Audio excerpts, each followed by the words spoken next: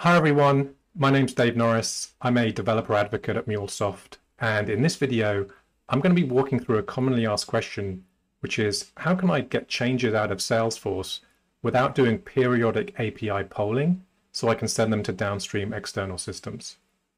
So we've created a brand new tutorial called Subscribing to Change Data Capture Events with the Salesforce Connector. What I'm going to be walking you through is really a high level architecture where we're going to be stepping into Salesforce and we're going to set up the ability to publish changes to specific objects. And we're going to be picking the contact object in Salesforce. And we're going to ask Salesforce to publish changes to that object to a shared message bus. The second part of the tutorial, we're going to create a brand new Mule project and we're going to use the Salesforce connector and the replay channel listener operation to subscribe to those changes. And the third part is we're going to tie it all together. We're going to run the project and we're going to inspect the payload that comes from Salesforce. And once you know that, you'll be able to use one of hundreds of others connectors to push them down to the downstream system of your choice. So without further ado, let's get started with part one. Okay, so part one is the Salesforce setup. So in terms of prerequisites, we need to sign up for a Salesforce Developer Edition org. So if you head over to developer.salesforce.com forward slash sign up, you can sign up for a full featured copy of the platform for free, and it doesn't expire as long as you use it. You just need to give it a unique username and fill in the other required fields, and it will send you the ability to, to set your password and get a Salesforce security token. Once you've received the email from Salesforce, you'll be able to log into your Developer Edition org, and it will look something like this. Now, to set up the ability to publish change data capture events, you'll need to open up the cog in the top right-hand corner and select Setup.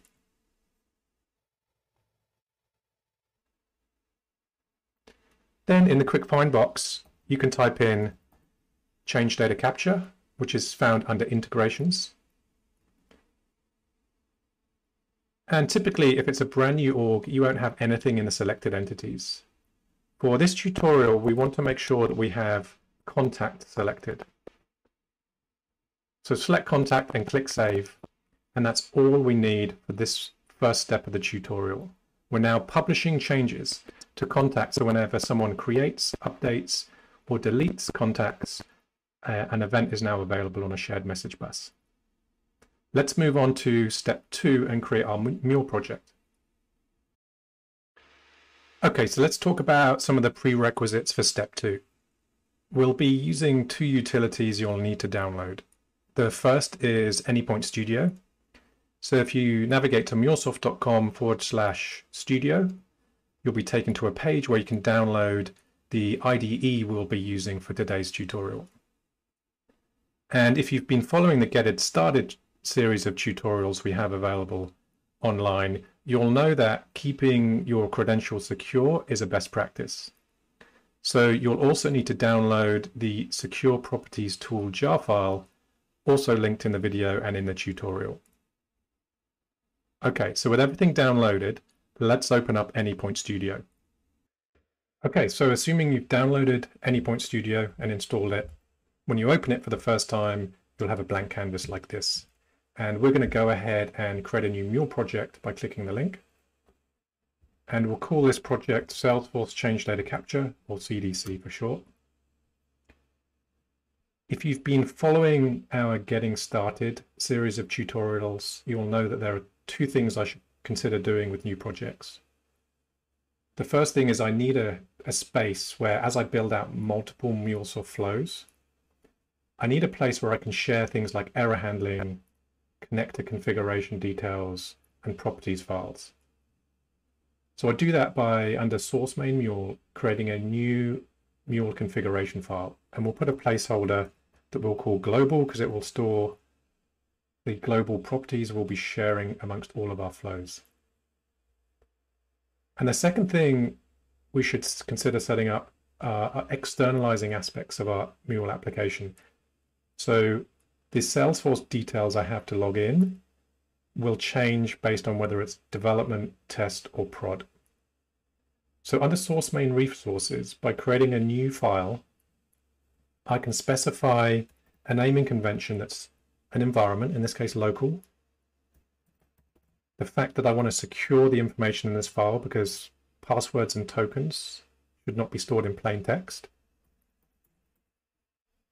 And be able to specify the Salesforce system and a series of properties that I can expose and then create files later on for each environment. Now, password and token are sensitive and I need to encrypt them using the other tool we downloaded. So once you download the jar file, if you open a command prompt to the same location, you then get access to a tool that allows you to encrypt a string using an encryption algorithm. We're using one called Blowfish. As a developer, you just need to specify the encryption key and the string you want to encrypt. So you need to run this algorithm with a encryption key that you choose for your Salesforce password and your Salesforce token, security token. And when you run it, you'll get an encrypted string like this that we then need to copy back into our secure YAML file. So go ahead and do this for your password and your security token, and I'll meet you back at the YAML file. Okay, so as you can see, we're back in our local.secure.yaml file, and you can see if I zoom in, I've now encrypted my password and token, and I'm using the syntax exclamation point, open square brackets, the encrypted value, and then close square brackets. So once you've encrypted your values, paste them back into the file here, and you should end up with something that looks roughly like this. Now what we need to do is let our Mule application know how they how it can read this file and decrypt these values. So we do that by going to global.xml, search and exchange, and we'll search for Mule secure properties extension, which is the top one here. We'll add it to our project and click on finish. So whilst I'm still in global.xml, I can now add a global element. So I'll hit the create button. And I've now got one available called the secure properties configuration. So what this allows me to do is now point my Mule application to the file that I'm creating. So the very first thing we need to do is specify the file location. So this is where we're introducing how we externalize aspects of our implementation by using a variable. So we use uh, a property we can set up runtime called environment or env, which will point to local.secure.yaml. So that way, as I move through the development life cycles, I can just change the property at runtime to dev, and it will then read the dev.secure.yaml file.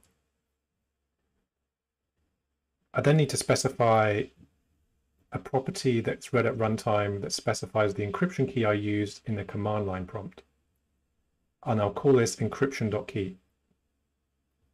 We'll set this uh, later on in the tutorial. The algorithm we used was Blowfish, and then I can go ahead and click Save. The only other thing I need to do is add the encryption key.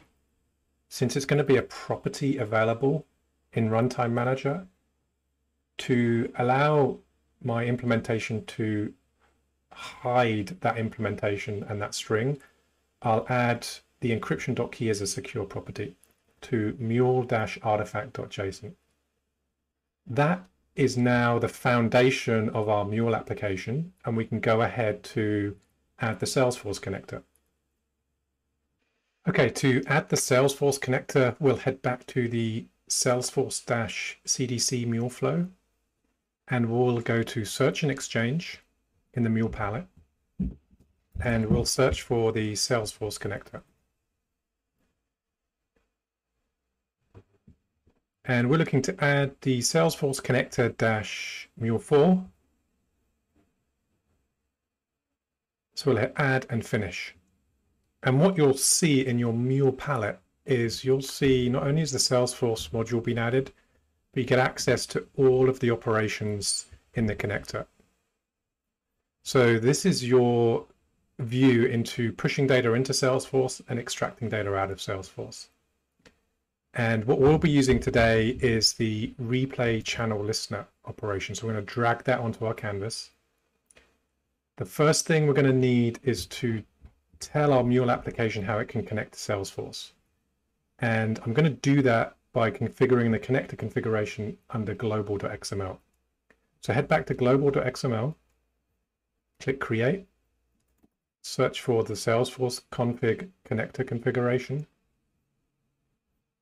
And this is where we're going to specify the property file we set up earlier.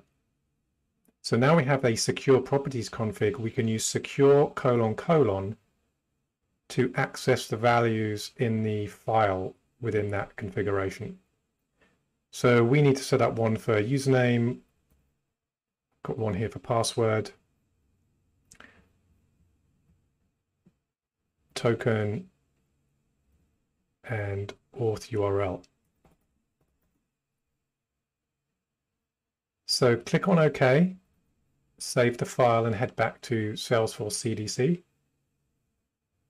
And you'll see that this flow now has the connector configuration populated for the replay channel listener.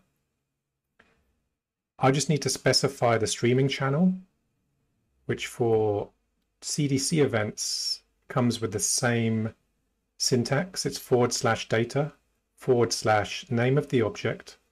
So we set up contact and change event. So if you set this up for account, it would be forward slash data forward slash account change event and replay option. So using the replay channel listener allows you to replay events from the event bus that Salesforce has based on a numeric value it sets. So if your Mule application stops for any reason, you can replay from the last replay ID if you choose. So we'll save that. And now we're going to add a logger. So in the Mule palette, I'm going to drag a logger in. And all I'm simply going to do is change the message to output the payload that comes in from Salesforce as JSON, just to make it formatted a little bit nicer. Now, before I run this, I just need to do one more thing. Earlier on, we set placeholders for environment, env, and encryption.key. So in order to set those values securely at runtime in my local environment, I can set up a run configuration. So go to run, run configurations, double click Mule applications, select your Salesforce project and hit the environment tab. So here we can set up a, an environment for your local testing. So now it knows to point to local.secure.yaml. And you need to add one for your encryption.key. And this is your encryption value that you used in the command line to encrypt your password and token. So set that to the value you used, click on OK and apply, close, and we're now ready to run and test this. Okay, so we're nearly home. So the last step of the tutorial is really to build our project and test it. So what I've done is set up my screen slightly differently I'm using split screen. So we have the Anypoint Studio project we've just configured on the right and our Salesforce Developer Edition org on the left. So it helps us demonstrate this without having to switch screens. So whenever you're ready, just right click anywhere on your canvas and hit the Run Project Salesforce-CDC.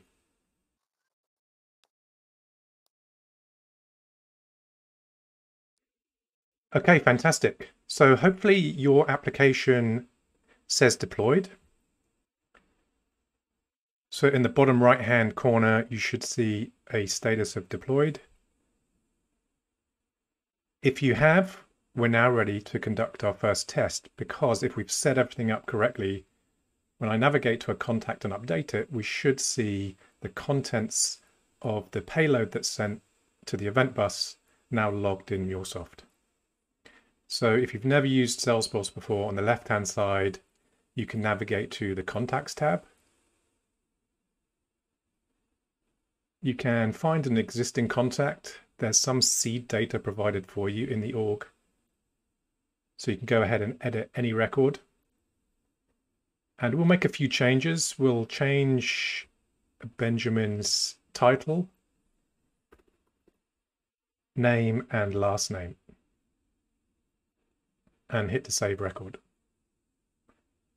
So what we want to see on the right-hand side is automatically we have subscribed to that change data event that we set up earlier. And you can see it's now logged the payload.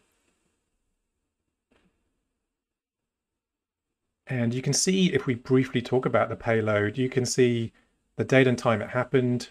You can see the data values that have been changed. So these are the three values I changed, first name, last name, and salutation. And you can see things like the entity name, the fact that there was a contact, and we can see the change type, that it was an update versus a create or delete. And we can also see an array of all the fields we changed.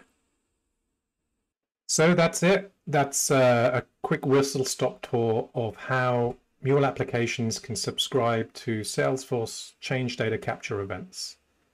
Head to developer.mulesoft.com for more tutorials and I'll see you next time.